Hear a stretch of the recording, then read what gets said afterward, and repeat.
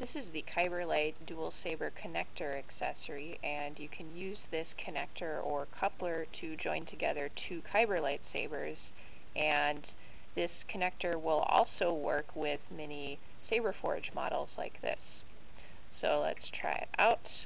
Here is my Kyberlight.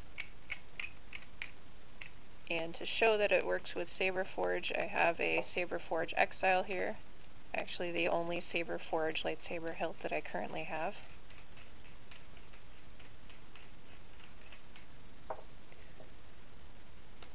But you'll see that the threading works.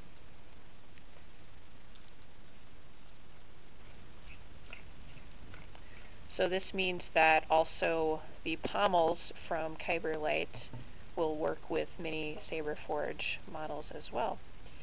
But here's these two sabers connected. It's kind of a strange looking combination, but it's a pretty handy connector piece. It does have the sound holes in here that you, as you can see and you know just nice functional piece to join the lightsabers together.